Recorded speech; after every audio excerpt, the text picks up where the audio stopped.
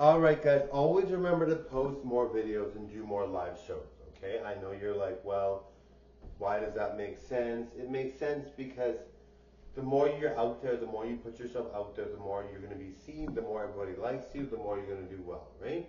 So always remember, like it's a technique, right? And it's a strategy, and it's a good one. And I'm, I'm willing to tell you guys because I want you guys to be successful. I want you guys to do well, and I want you guys to know that I support you 100%. I tell people the honest truth and the, what we really would look for in life because I know that's what I want you guys to get. That's what I want you guys to have, right? And I want those things for myself. So that's why I'm honest because I know not a lot of creators will tell you the real facts. Not a lot of creators tell you the real way to lose weight or the real desires and wants we have.